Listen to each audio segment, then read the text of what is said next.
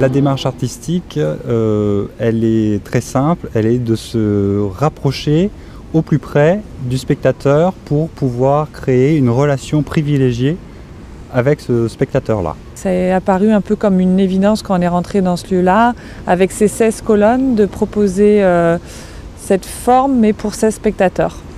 C'est vraiment un projet qui a été fait euh, en trio, donc avec euh, Nicolas Bazauge, Léonard et moi. Ça se, monte vraiment tous les trois. Pour euh, Nicolas, le musicien, c'est aussi une partie de composition instantanée. Il est aussi euh, dans l'improvisation.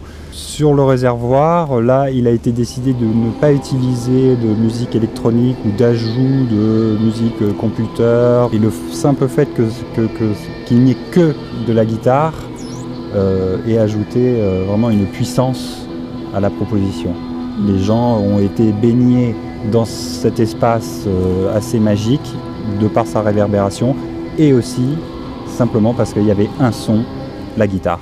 Voilà. Et je pense que ce qui est important à, ajouter, c'est que Nicolas est aussi créateur lumière. C'est vraiment une. euh, Quand on parle de, collectif et de travail, euh, de travail en, en trio, du coup, tous les trois, c'est vraiment important. Nous avions aussi deux autres personnes à l'extérieur du bâtiment qui donnaient des baumes et donc le public à l'intérieur ne savait pas d'où ça venait et il y avait des grosses résonances qui arrivaient de temps en temps Mhm. comme ça ponctuellement et, et il y avait, euh, ça prenait encore plus une, euh, Ouais. une dimension énigmatique.